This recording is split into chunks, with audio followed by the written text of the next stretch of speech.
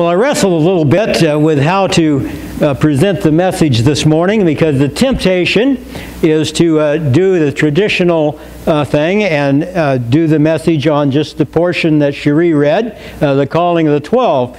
But as I begin to look it over, it seemed to me that there's, though there are many good messages we could make out of that passage, uh, there's a larger context here, and I kind of wanted to take all of that in. And, you know, we've been uh, seeing how Jesus' ministry has been unfolding and uh, the great joy that uh, it has brought to him and to others, but at the same time, it brought great consternation to some, didn't it? And great criticism to Jesus. So, uh, as I was uh, researching the message, um, it came to me that Christ's life, as our lives, could sort of be described uh, by the term the ecstasy and the agony. Now, some of you can identify with that. You've been in situations where everything started out wonderfully, and you just couldn't see how anything could possibly go wrong with this relationship, with this career path, uh, with this church you found, whatever it is, everything was wonderful. And then something happened, didn't it? And sometimes it happens and it gets so bad that your ecstasy that you started out with becomes your agony. You ever have a baby? How wonderful that was. But they have this bad habit of turning into teenagers. Present company accepted. but you definitely go from the ecstasy to the agony, and hopefully the teenage years give way to young adulthood, and we move back towards the ecstasy a little bit. but you may recognize that as a play on words from the, uh, the, the, the, movie, the, the, book written in 1961, the movie 1965. Uh, the proper title is The Agony and the Ecstasy. And of course, uh, it's about uh, Michelangelo and his painting of the ceiling of the Sistine Chapel. And, and for Michelangelo, that was definitely an agony and an ecstasy sort of event. Because one thing you have to realize here is he did not want to do that. And the main reason he didn't want to do that is because he felt unqualified to do that. And the reason he felt unqualified to do that is because he fancied himself to be a sculptor, not a painter. And he, in fact, lobbied uh, Pope Julius II uh, to let Raphael paint the ceiling. But Pope Julius wanted Michelangelo to paint the ceiling. And by the way, Pope Julius is known as the warrior pope. Uh, it was not like what a pope today. Uh, he ruled with a sword, and he wielded that sword uh, quite well. And so uh, Michelangelo ended up painting the ceiling, but it was definitely an agony and an ecstasy event for him. Have you ever been called to do something you feel unqualified to do? I certainly don't feel qualified to be a pastor. I certainly don't even feel qualified to be a Christian. You know, we sang the Amazing Grace thing. I mean, would any of you stand before Jesus and say, well, you know, you're sure fortunate you picked me because I'm the best man for the job? I doubt it. We all shrink when Jesus calls us into ministry, don't we? And we all utter uh, the same refrain, oh, I'm, I'm not qualified to do that. Well, what about the... Uh, 12 apostles. were they qualified? Uh, I don't know. But Jesus called them anyway, didn't he? Know? Now we're talking about this agony and ecstasy thing, and there's always a, a honeymoon period before things go bad, you know. And, and so it is in Jesus' ministry. It, it, it had gotten so good, it was so big that he couldn't even move. You, you see the pictures uh, on the news every once in a while of the paparazzi and they, they're on to some movie star or whatever and they just swarm them and they can't move. And, and that's got to be the pits. Well, that's the way it was for Jesus now. And so, he's got to get some help. So he continues to call his apostles. He realizes that what he's about to face, and we've already seen that he's faced a lot, but the opposition is going to intensify the nearer he gets to the cross, because that's, that's uh, Satan's uh, last gasp effort to keep him from going to the cross, because he knows it'll be over for him when he does. And so he's got to do something here, so he's going to call these 12 people to help him.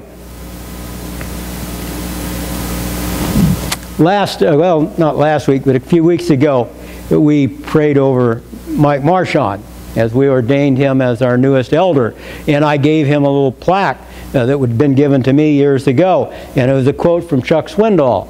And maybe you remember. Uh, but here's what he said. And he was talking about leadership. But uh, you can talk about this for all of us as, as we engage in our various ministries. And Swindoll said this. He said, You are either the hero or the villain. You are greatly respected or you are virtually hated.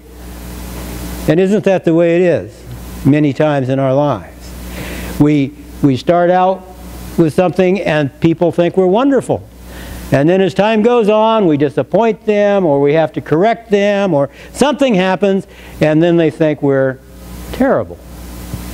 And that's the way it is in Jesus' ministry, right? He goes through and some think it's wonderful, some think it's terrible. So if we're going to make it, if we're going to keep our sanity and, and that going through life like this, we need a support group. We all need a support group. We, we need a small group of people that we can really depend on, that we can count on, that we can talk to, that we can go to for advice when we're struggling. When everybody's telling us, you're no good, you're not qualified, you're stupid, what are you doing that for?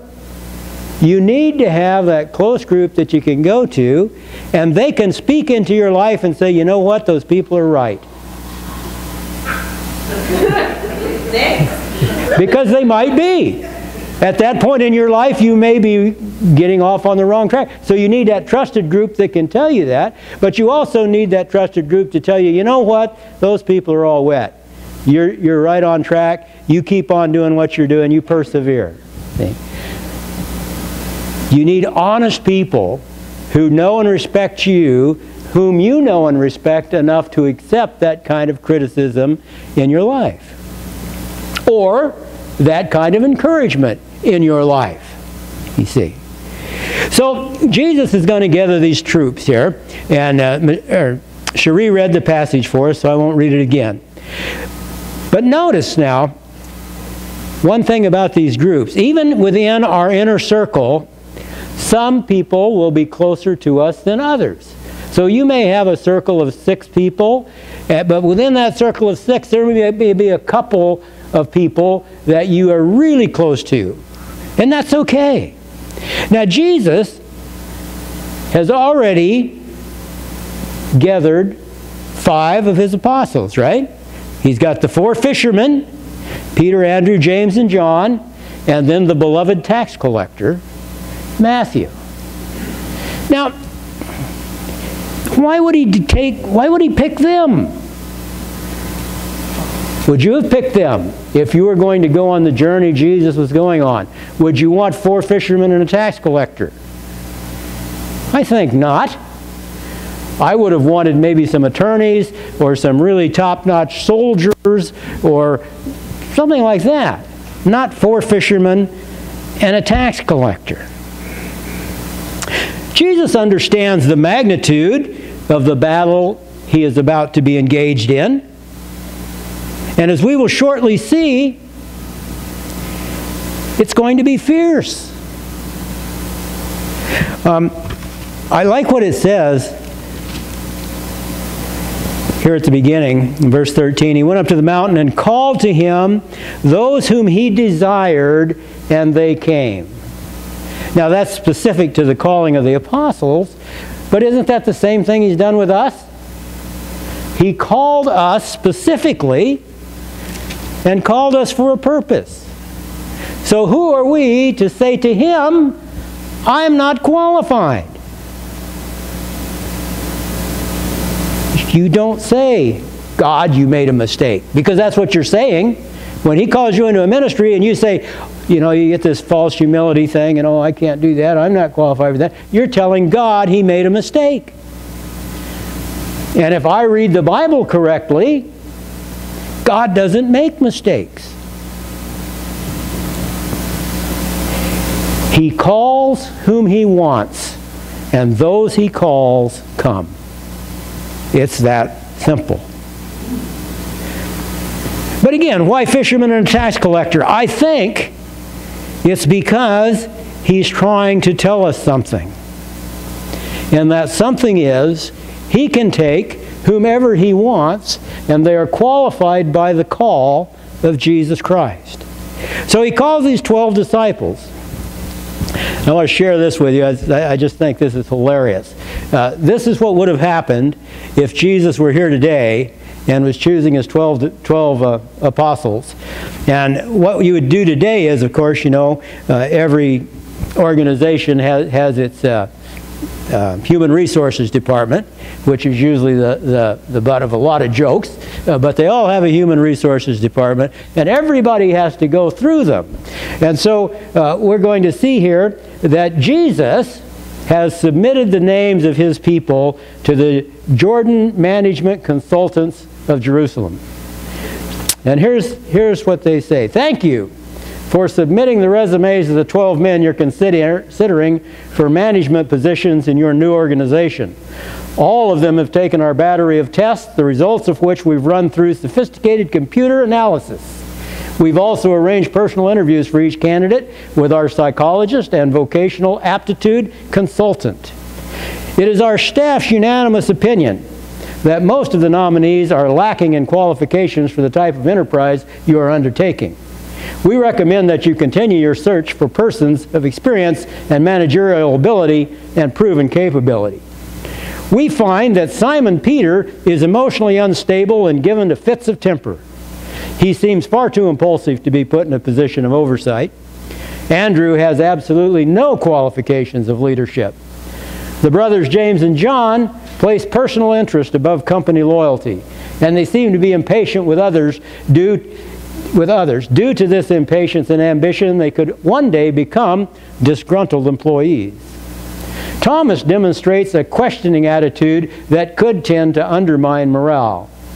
We feel it is our duty to tell you that Matthew has been blacklisted by the Jerusalem Better Business Bureau. In closing, one of the candidates shows great potential. He is a man of ability, resourcefulness, and ambition. We highly recommend Judas Iscariot as your comptroller and right-hand man. All the other profiles are self-explanatory. Sincerely yours, Jordan Management Consultants.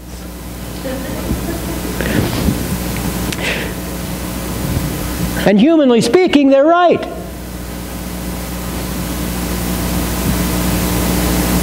But Jesus is God.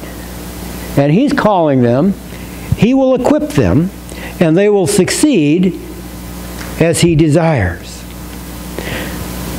Remember this now. You are, call, you are qualified by Jesus' sovereign call, not by your background, not by your abilities.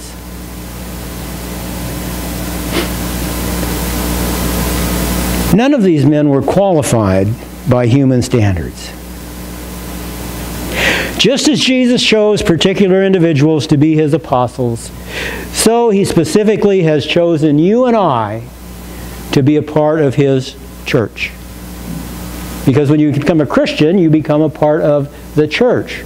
Small, not this particular church, but Christ universal church. In fact, the very word church, the Greek word ekklesia, that we translate church, is a compound word, and you're pretty much familiar now when you see ek in front of a word, you know that means out. And kaleo means called, you put it together, you get ekklesio, ekklesia, and it means uh, called out ones. So when you're part of a church, of the ecclesia, you are part of those who have been called out and placed into this body we call the church. And again, Jesus doesn't make mistakes. Now, look what happens. He's chosen these guys, and the first thing that, that he does after choosing them is he goes home, and the crowd gathered again so they could not even eat. There's the paparazzi deal going on. And when his family heard it, they went out to seize him, for they were saying, He's out of his mind. Now, what are you supposed to, to receive when you go home? Hopefully, you, you're going to receive some, some love, some acceptance, uh, comfort if you're distressed, a place to rest if you're tired. Now, Jesus comes home, he's tired, and his family says he's nuts. Pretty supportive. Let me read verses 21 through 30. Now, this is right after he's home. His family says he's crazy, and here's what he does. And the scribes who came down from Jerusalem were saying, He is possessed by Beelzebul, and by the prince of demons he cast out the demons. And he called them to him and said to them in parables, How can Satan cast out Satan? If a kingdom is divided against itself, that kingdom cannot stand.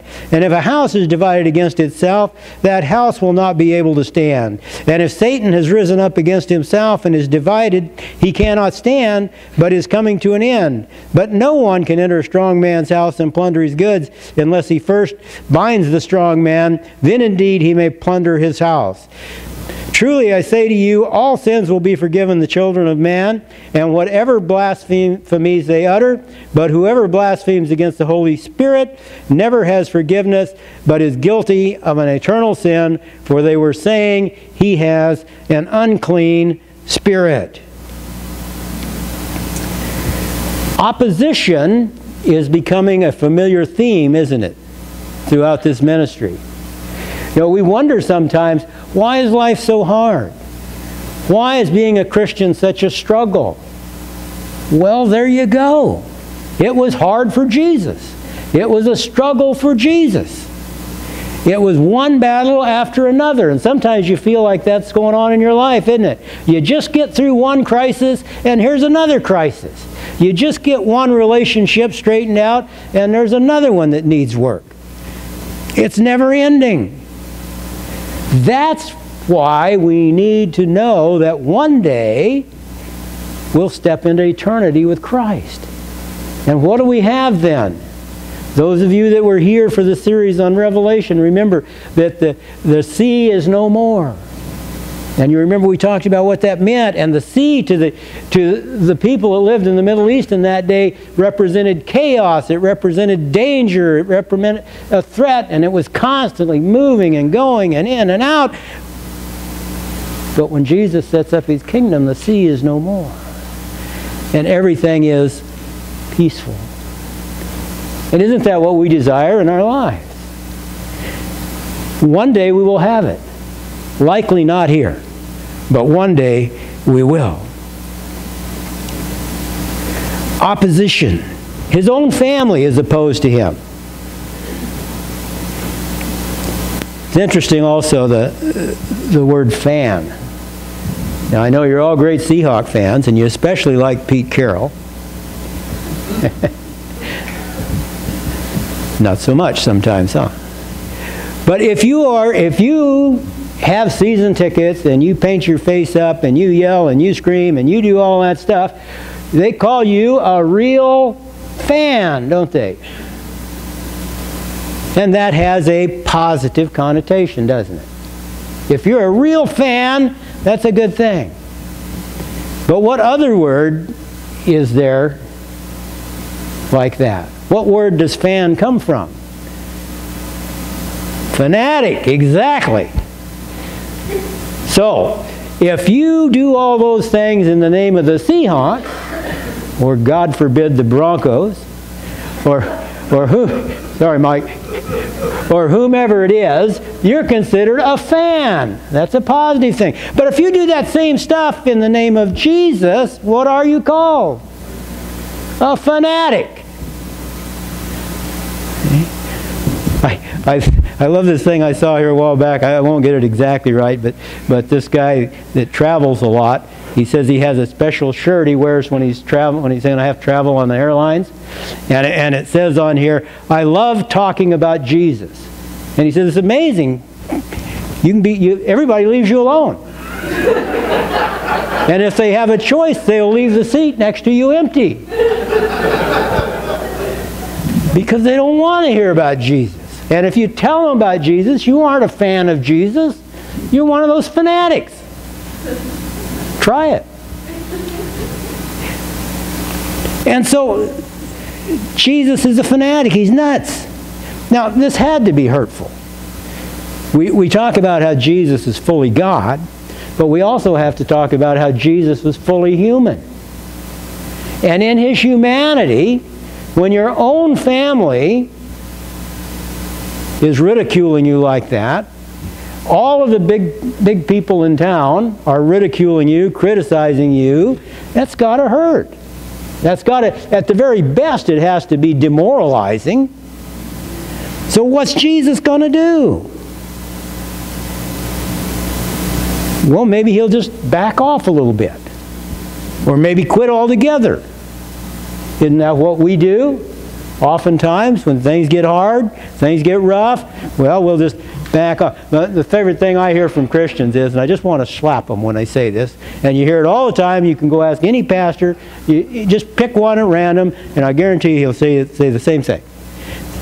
You say, well, Pastor, how come it's always the same people doing everything? Those other people never do anything. It's always us. Well, so what? If God's called you to do it and you've stepped up to do it, praise God. Those other folks are missing out.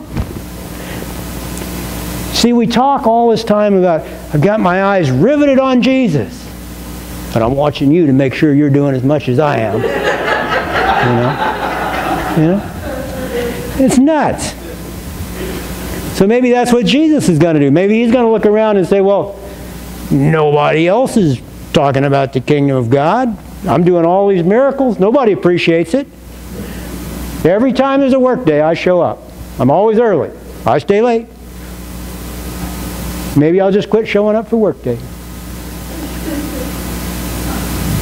So what did Jesus do?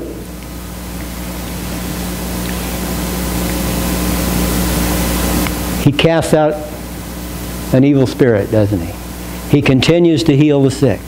He goes right on with his mission. You want to criticize me? Criticize me. You want to call me nuts? Call me nuts. I've got a mission. God has given me this mission. I'm going to take care of it. I'm going to see it through. Jesus shakes it off and continues ministering to those in need, healing and casting out demons.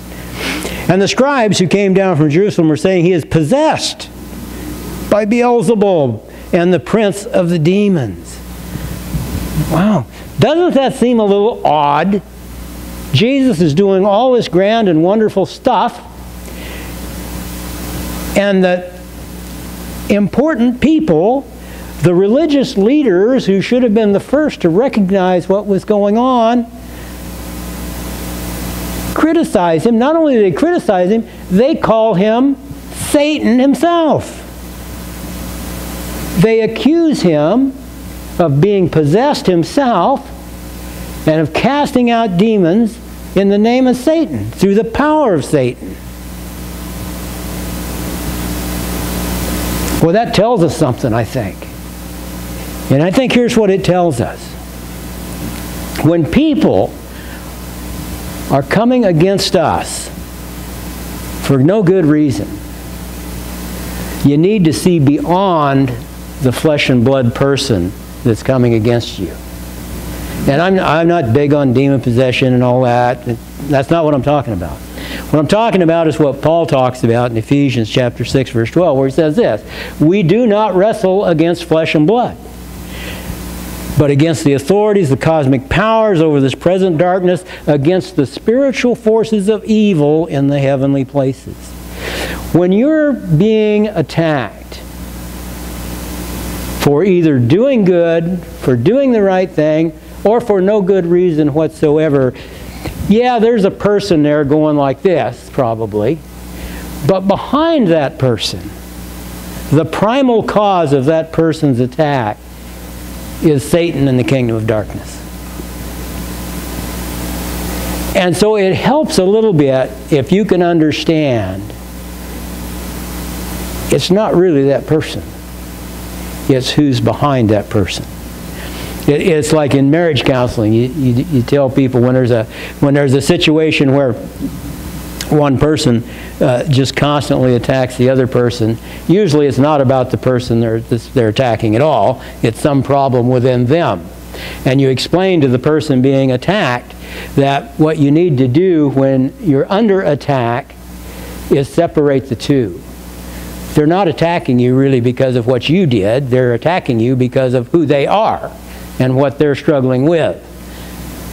Still doesn't, it doesn't make it right, but it helps you to cope when you understand where it's truly coming from.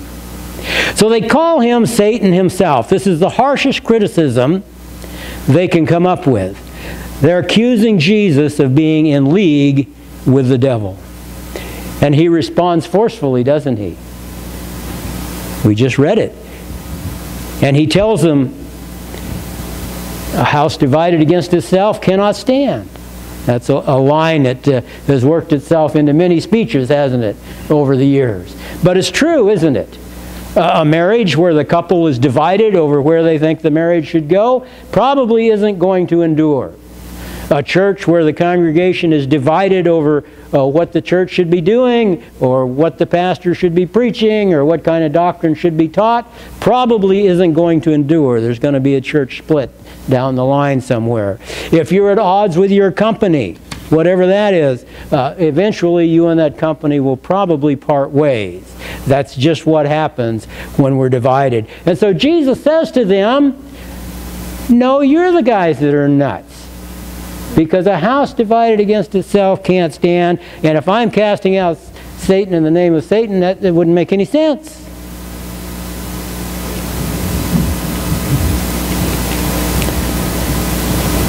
So probably what you're all thinking about is verse 29 because it's gotten a lot of press over the years, hasn't it? And what did Jesus say there? He says, But whoever blasphemes against the Holy Spirit never has forgiveness, but he is guilty of an eternal sin for they were saying he has an unclean spirit. And we call it the unpardonable sin. There's another question pastors get universally. Is, well, well, pastor, what if I've committed the unpardonable sin? You ever ask that question, at least in your mind? Sure. A lot of people have. And what is the unpardonable sin? Blasphemy against the Holy Spirit. Well, what's that? Yeah. The unpardonable sin is a person, a person who has committed the unpardonable sin, is a person who is irredeemable as he attributes the work of the Holy Spirit to Satan.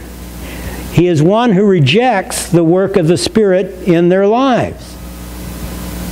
Okay?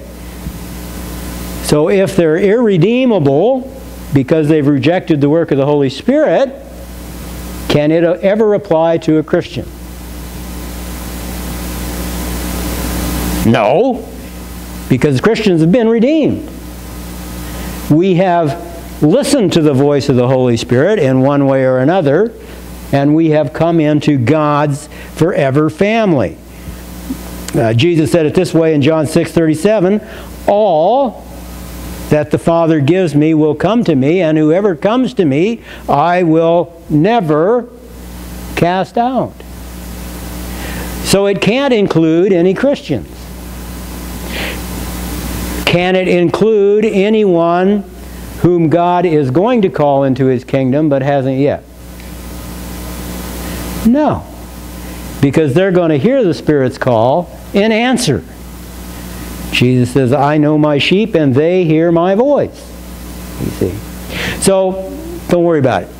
I don't know who's committed the unpardonable sin or if anybody. I don't know. But if you're a Christian or if you are going to become a Christian, and who knows who that is, only God knows that, don't worry about it. One who rejects the Spirit in their lives So we've gathered a great group because we're going to face this great opposition as Jesus has done. But now it takes one more thing if we're going to persevere. And that is we need a great commitment. And commitment's not uh, really a real popular idea sometimes in our society, is it? We don't want to make a commitment. You know, uh, we, we don't commit to things like we used to. But if we're going to succeed in a way that we would like at living the Christian life, we have to have a great commitment. If we are going to be able to stand against such great opposition, we must have a great commitment both to God and to His people. To God and to His people, the church. Now, that's not real popular, uh, preaching commitment to the church. And people will say, well, no, no, no, it's not about the church. But it is about the church. And we say, well, it's about the universal church. Well, yeah, it's about the universal church, but what's the universal church made up of? A bunch of local churches. And so we need to have a great commitment to those churches. In these verses, let me read them for you 31 through 35. And his mother and his brothers came, and standing outside, they sent to him and called. And a crowd was sitting around him, and they said to him, Your mother and your brothers are outside seeking you. Now, these are the folks that just called him nuts uh, a few verses ahead. Remember who we got here. They're seeking you. And Jesus answered them and said, Who are my mother and my brothers? And looking around at those who sat around him, he said, here are my mother and my brothers. For whoever does the will of God, he is my mother, brother, sister, and mother. Now, this little portion of Scripture is often uh, greatly misunderstood. Uh, what Jesus isn't doing here, he isn't repudiating his biological family. What he's doing is he is expanding that definition of who brothers, sisters, mothers, fathers are now to include all the people of God. Those are my brothers and sisters. It's not just limited to my biological family anymore. I've told the story before. When I was little, I was, I was raised in an, an old time Pentecostal setting. And until I was 10 or 11 years old, I didn't know Christians had first names because everybody was, you know, it, it would it would be like Brother Fain, Brother Abbott, Sister so and so, Smith, whatever it is. Uh, that's what they called each other. And I didn't understand that, but they're, what they're doing is they're doing what Jesus says here. They're recognizing each other as blood relations. Are we blood related? Are we? Yeah. Well, thank you. Wow. we, we sing about the blood. We, we preach about the blood. We, we, Jesus shed his blood for us. We're blood rel relatives. And that's what he's saying here in these verses. And he's saying because of that relationship, he has made a commitment to us, hasn't he? And he took that commitment to the point of death on a cross so that we might never experience death. He's expanding now from, from his five, the four fishermen in Matthew, to the twelve, and now he's expanding to as many as believe. That's my family. That's my group. That's my bunch that I run with. Jesus is committed to them, and they to him. And again, why is that so important? Because Satan's number one ground of attack, whether he wants to destroy a marriage, a church, a career, a corporation, whatever it is Satan is setting out to destroy, his number one ground of attack is disunity. I'm going to create some kind of a rift in this group whether it's a group of two or a group of 2,000. And eventually that rift will destroy it. And I'm sure you can all look back in your memory banks and find examples of that. In verse 24, he says, If a kingdom is divided against itself, that kingdom cannot stand. And that's so true. I was watching the news last week and they were, they were interviewing uh, Dr. Ben Carson. And he said this He said, The problem in Washington, D.C., not state, said, The problem in Washington, D.C. is they are more interested in being Republicans or Democrats than in being Americans. You know? And that's so true. And sometimes in the history of the church, we've done the same thing, have we not? We become more interested in being Baptists or Presbyterians or Catholics or Protestants or whatever than we are in being Christians. Same thing in a marriage. I'm going to look out for my interest and she can look out for her interest or vice versa. And, and we get more worried about taking care of our little corner of the marriage than taking care of the marriage. In fact, I read somewhere not too long ago, some psychologist had written, and he said that he was talking about uh, things that tend to uh, make for a lasting marriage. And he said that couples that have a lasting marriage tend to view their marriage as almost a third thing. There is her, there is him, and there is the marriage. And I thought that was rather interesting because and and it really I think that's healthy if you think about it because we each have to have our own space, but that marriage is more important than our own space. So that means sometimes I have to give up some of my space. Sometimes you have to give up some of your space. And it, it's the same if we're in a church. It's the same if we're in a corporation. It, it's all the same. Now, some of those are at different levels, I realize, but it's the same principle. So here's what I want you to do. I want you to just take a moment. I'm going to wrap this up here. Take a moment and consider your commitments. Eh, eh, just do a little inventory of them, do a little checkup, you know. Eh, how's your commitment to God? How, how's your commitment to God's people? How's your commitment to your marriage? To your employer or your employees if you are the employer? And as you think about that, just to ask God to maybe reinforce it where it needs to be reinforced. And He'll do that. And remember, it's God we keep our eyes on, and it's our commitments that we keep. And as we go through life that way, we certainly won't escape opposition. We may even engender more criticism. But we will be able to say to God, I did the best I could to keep this commitment. So just take a moment, bow your head, and do a little business with God, and I'll, I'll wrap us up with a prayer.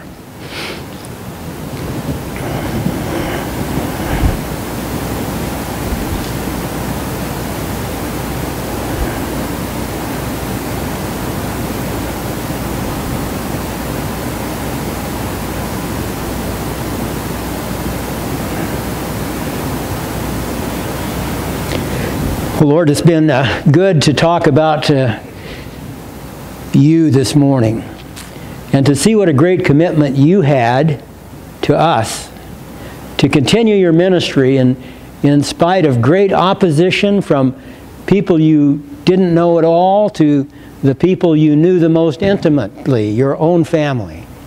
And yet you never wavered. You never for a minute thought about quitting. But you moved right on.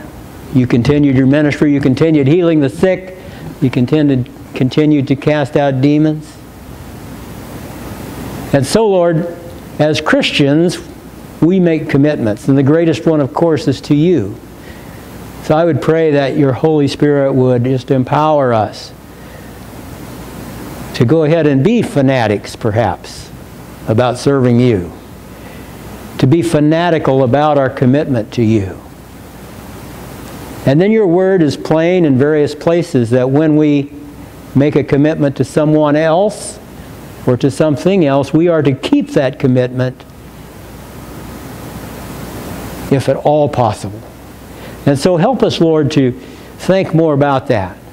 The commitments we've made to spouses, the commitments we've made to employers, to institutions, to the church. And Lord, let us keep those commitments with a fanatical zeal so that the world can see that we are just a little bit different.